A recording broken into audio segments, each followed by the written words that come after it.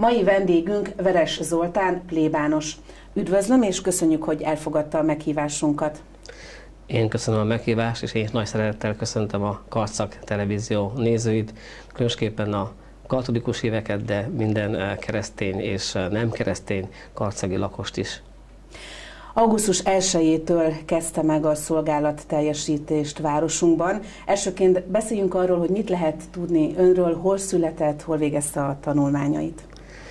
Hát innen elég messze, Székelyudvarhelyen eh, születtem 50 évvel ezelőtt, és eh, hát igazából a szüleim a szomszéd településekről származnak Székely Vasságról, igazából a, mind a két szülőm, és hát én is gyerekkoromat ott éltem legtöbbet, de Székelyudvarhelyen jártam iskolában eh, egészen tizedik osztályig, és utána 17 éves koromban 90 márciusában felültem a vonatra, és elhagytam családomat, hazámat, és Magyarországra költöztem, és akkor Magyarországon Egerbe telepettem le, ott dolgoztam, Ferences templom sekrestése és én mindenese voltam. Közben két év alatt leérettségiztem, ilyen dolgozói gimnáziumban, és utána jelentkeztem a Ferences szerzesrendbe.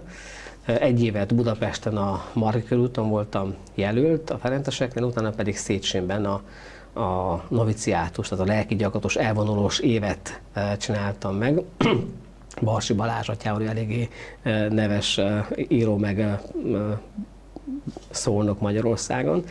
És akkor ott, utána a Széchenyi után úgy döntöttem, hogy mégsem a Ferences szeretesség, ami nekem a legjobban megfelel, illetve nem erre éreztem utána már hivatást, de a papság hivatás az mindig-mindig egyértelmű volt számomra. És akkor Egerbe, Egerbe mentem vissza, és Egerben folytattam a éven a teológiát, és 1999-ben, június 19-én még Seregi Érsekatya szentelt pappá. Ahogyan említette, azt mondta, hogy egyetemű volt, hogy ezt a hivatást választja. De miért? Jó, hát ez nem kezdetektől, már úgy értem, a, a 16 éves korom környékén jött először ez a, ez a gondolat. Én én gyerekkoromtól kezdve jártam minisztrálni helyi énekkarba, mármint az egyházi énekkarba énekeltem, ifjúsági jártam, de mellette egyébként, a, ami a legjobban érdekelt, az a sport. Tehát én ugye versenyszerűen sportoltam akkor, ökölivásban, 48 kilóban, nagyon, vagy 5 évig gyakorlatilag egész Románia területén ifjúsági szinten versenyeztem és hogy nagyon érdekel igazából, mert ilyenkor mi akar az ember olimpiai bajnok, vagy világbajnok, mm. és hogy, hogy azt hittem, hogy nekem az a, az a jövő. Aztán igazából közben még ugye jártam a templomba, a közösségekbe, hogy ez, ez a kettő hogy egymást hogy, úgy kicsit kioltotta olyan értelemben, hogy, hogy azt éreztem, hogy igen, oké, a boxzsák az nagyon jó, meg az edzés, meg az emberi oldala, de, de több, többre az ember hivatott, úgy éreztem. És akkor egy idő után azt mondtam, hogy inkább abba az irányba kéne gondolkodni, hogy tényleg a, én, nem az, hogy én mit akarom, jó Isten mit akarhat tőlem. Hol tudnék valami többet tenni, mint azt, hogy most én most bum, leszek világbajnok, tegyen fel. És akkor utána mi van? Szóval az úgy, úgy azt éreztem, hogy az nem leszek azzal beljebb és ak- akkor kezdtem el gondolkodni, ez 16 éves fejjel nyilván. És akkor a, ott Gyulafehérváron, Erdélyben, akkor felvételeztem ilyen kis szeminárium, ilyen előszemináriumba, de akkor még ugye még a Ceausescu rendszerben nagyon szigorú felvételek voltak, és akkor nem sikerült. És akkor egy kicsit el is ment a kedvem, úgyhogy egy évet úgy, úgy kihagytam, és akkor közben jött a forradalom, és a forradalom után akkor úgy, úgy volt egy ilyen hát ilyen, ilyen természetes elvándorlás, mindenki ugye lázadt a rendszer ellen, hogy azt hittük, hogy nagy ö, változás lesz, és hát igazából azt láttuk, hogy nem lett változás, tehát igazából a forradalom az nem is volt forradalom, és akkor nagyon sokan eljöttünk, és akkor én is úgy ö, két barátommal tényleg így egyszerűen felültünk a vonatra, nem is szóltunk a családnak, Szóval elég kegyetlenül el, elindultunk, és akkor Békés Csabán menekült tábor, szóval politikai menekült státusz kaptunk, és akkor utána Egerbe telepettünk le. Szóval és akkor, akkor volt egy ilyen, ilyen átmeneti időszak az életemben, amikor úgy tényleg kerestem magamat, hogy, hogy előtte ugye próbálkoztam, úgy éreztem, hogy van egy meghívásom, de aztán mégis kicsit csalódtam is ebben, hogy hát mégse kellek én jó Istennek, mert nem sikerült a felvételi. Szóval egy ilyen, ilyen keresésben voltam, és akkor érdekes módon, hogy Egerben oda kerültem, először egy építőipari vállalatnál dolgoztam segédmunkásként. és hát igazából másfél nap után el kellett jönnöm onnét, mert nem bírtam elviselni azt a közeget, és, és akkor egyszer tényleg úgy azt mondanám, hogy gondviselésszerűen valaki súgott, hogy van egy Ferences templom, ahol a most keresnek egy állást. Nyilván fillérek fizetésért, de én rögtön rácsaptam, és onnétől kezdve azt csináltam, és, és beiratkoztam a, a suliba. És ott, ott volt egy pillanat, amikor egy, egy olyan Isten élményem volt, tényleg egy, egy ilyen ünnepi alkalommal, amikor azt éreztem, hogy na igen, innét már nincs tovább. Megérkezett. És ez a, az a Jónás hogy, ö, hogy is van, hogy a Uh, nincs mód nem menni, ahova te küldtél. Most ez a, ez a vers jut eszembe, hogy apja fiáért számot ad a testvér, nincs mód nem menni, ahová te küldtél. Szóval ez, az úgy bennem van azóta is, hogy, hogy meghívott az Isten, menni kell. Nincs mese. Tehát az akkor egyértelmű, és onnétól kezdve az, hogy én uh, pap, papi hivatással bírok, nem volt kérdés onnétól kezdve az már más hogy akkor úgy gondoltam, hogy ott éltem a Ferences templom környékén, vagy a, szeltesség az való Szent Ferenc, ugye mindig az ember az egy megható, akkor az, az úgy elvitt magával, meg egyébként a gyerekkoromban is, akinél egy idős atya, akinél kezdtem a minisztrállást, a, annak létatja az egy Ferences atya volt, annak az élménye és az ő emléke is nyilván sugalta azt, hogy abba az irányba menjek el. De nem bántam meg, mert azon két csodálatos év volt az életemben, és rengeteget fejlődtem lelkileg, főleg a noviciátus, a, a lelki gyakatos év Széchenben az nagyon-nagyon intenzív volt, és az, az ma is azokból a dolgokból élek egyébként. Szóval mindenképpen nem volt kidobott idő, csak aztán nyilván úgy átbeszéltük akkor az atyával, és úgy döntöttem, hogy akkor Egerbe megyek, és akkor ott folytattam a szemináriumot, és ott már tényleg ott már úgy jött magával a dolog, hogy, hogy a papságra való készület, teológia, filozófia, és akkor úgy szépen ment a dolog, úgyhogy nem, nem volt sosem kérdés számomra az, hogy onnitól kezdve, hogy én pap akarok lenni, és azóta sem, sosem merült fel a kérdésként, ez egyértelmű. Elvégezte a tanulmányait, és hol kezdett el? Hát a, érdekes módon kezdődött a történet, mert június 19-én felszenteltek, utána volt az új misém Székelyudvarhelyen, aztán rövid kis szünet után már augusztus 1 megkaptam a, a dispozíciót, a papírt, hogy a, a, a jász árakszállási plébányára megyek, második segédlelkésznek káplának, tehát hogy két káplán voltak. Hát ugye ügyesen előre volt egy kis polszki fiát, akkor meg összepakoltunk, akkor utána aztán bekaptuk az egyházmegyei autót, és akkor szinte az elsőként kaptam meg a, a, az egyházmegyei kis tudókit, bepakoltunk, nem volt sok cuccom, be, beköltöztem augusztus első előtt egy nappal, hogy azért minden készen legyen. De hogy polcon állt könyvek, minden szépen, és akkor vasárnap kezdődött a mise, és akkor belentkeztem, hogy én vagyok az új pap, új káplán, elmondtam a terveimet, és akkor másnap jött a telefon, hogy bocsánat, de vissza mi atyánk. Egy, egy kollégát valaki elhagyta a helyét, és igazából be kéne tölteni, és akkor Ózra kéne menni azonnal. Szóval gyakorlatilag két hétig voltam jászárok káplán, a következő héten elköszöntem. Az, hogy én izgalmasan indult a papírpályám, úgyhogy, úgyhogy költözéssel, pakolással. Aztán uh, utána se állt egyébként, mert, mert Ózdon voltam utána egy évet.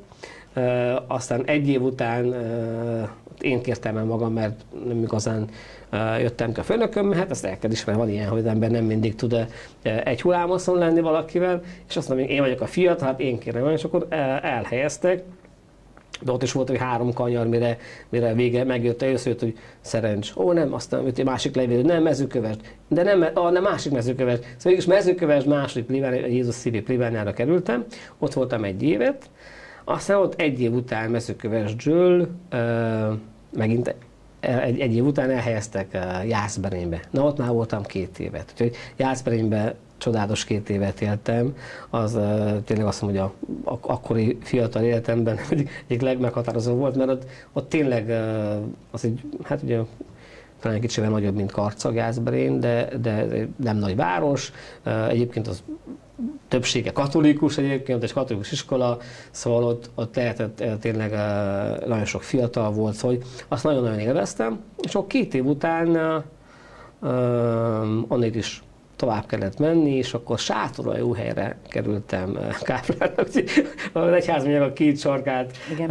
járgattam körbe.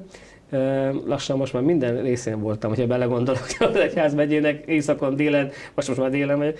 Szóval Szóval így alakult, és egy évet voltam uh, helyen, és akkor jött az érsekornak a megkeresés, amíg a sereg érsekornak, hogy akkor plébános leszel felső vadászon. Felső vadász, és hozzá tartozik még 20 település. Tehát konkrétan 21 településnek a, a plébánosává nevezett ki akkor. Akkor azt mondja, hát ez, ez nagyon nehéz telep, ez 5 év, tovább nem maradhatsz, mert különben ez, ez be, ezt nem lehet bírni. És ahhoz képest 19 évet húztam le ezen a területen. Annyi, annyi uh, szépség, vagy annyi, annyi különbsége, vagy annyi, tehát annyi annyit meg kell hozzá, hozzá kell tenni ebben az egészben, hogy, hogy felsővadászra neveztek ki, 8 évet laktam ott konkrétan, és közben az egyik legnagyobb település, ahol, ahol viszonylag nagyobb közösség volt, Homrok település, ott volt egy egyházközség, aminek nem volt saját templom, hanem a görög katolikus templomba jártunk, és akkor úgy igény volt rá, hogy, hogy ott legyen önálló templom, és akkor elkezdtem gondolkodni, és az egy ilyen, egy ilyen központi plébániának, templomnak a tervét találtam ki, és akkor építettem ott Homrog településen egy modern templomot, közösségi házzal és plébániával. És akkor oda költöztem le 8 év után, és ott éltem most így 11 évet. Tehát abba, úgy, magyarul 19 évet ugyanabban a lelki pásztori egységben dolgoztam, csak uh, ugye megosztva az, a, a lakás szempontjából, hogy már a költözés oda le, lekerültem uh, Homrogra, ott laktam a utóbbi 11 évet gyakorlatilag. És hogyan fogadta a karcodra kerülésének a hírét? Mert nyilván itt is azért a térségi településeken is teljesít majd szolgálatot. Hát ez érdekes volt, mert már évek óta, és akkor mondja, hogy már most már tényleg...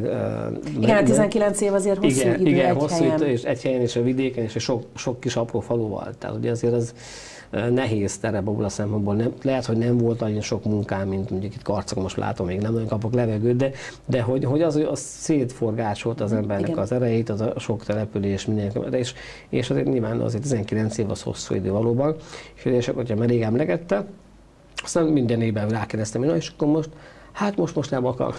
Tehát mindig, mindig halogatod. És akkor is most, hát azt nem el szabad mondani, hogy egy érdekes szituáció, hogy a, hogy a Romába ment a futballozni, a futszál csapatunkkal, a katolikus papok átotjával, amikor a reptéren összevoltunk érsekorral, és akkor hát mire jó egy ilyen találkozás, ugye megbeszéltük, hogy akkor mit szólnék karcakhoz, hát nem terveztem. Ismerte nem, karcagot egyébként? Hallott karcagról? Igazából annyiból igen, hogy a Zsolt atya, az ugye a, a, abból, arra a vidékről származik, és ugye járt haza. Uh-huh. Hiszen a Homrok település, ahol laktam, az a szomszéd falu, ahol a, a Zsolt atya született. Uh-huh. Tehát Homrokon is vannak rokonaim, Homrokra is járt haza a Zsolt atya, úgyhogy igazából uh, egyik nagynényét jártam gyóntatni, áldoztatni a Zsolt atyának, tehát igazából én ismertem így, Igen. de életemben egyszer voltam, amikor mi sokan jöttünk Beregfürdőre uh, táborozni, és akkor benéztünk a Zsolt atyához, egy tíz évvel ezelőtt, vagy több nyolc évvel. Tehát igazából nekem úgy nem, nem volt képben, meg hát fogalma sem volt, hogy mi van karcagon, ilyen, ilyen értelemben, tehát a, a, a települése, csak tudtam, hogy Zsolt, hogy itt van, néha azért akkor mondta, hogy mennyi sok minden van, meg hogy jól érzi magát, úgyhogy nekem is rögtön az utazásokornak mondtam, de hát no, Zsolt, hogy ott ilyen jól érzi magát, mondom, hogy hát mindegy, most már váltás lesz, kész, ennyi. Eljött az, az ember, idő, idő, kész, hát most ilyenkor az ember mondhatunk nem, de nem érdemes. Tehát szóval, hogy igazából úgy volt vele, hogy, hogy mindenkinek, tehát az, az, nem, nem lennék az érsek a helyébe. Mert nyilvánvalóan vagyunk sok pap, Igen. van sok település, mindenkinek megvan a saját elgondolása, van, aki szeretne menni, valaki szeretne maradni, na most hol tegyen igazság, az ugye mindenkinek meg kell oldani, vagy néha vannak ugye nyugdíjazások, Persze. betegségek, ugye ott ugye Encsen is ugye ott be, be, megbetegedett az atya, meg be kellett tölteni, mert nagy, nagy település.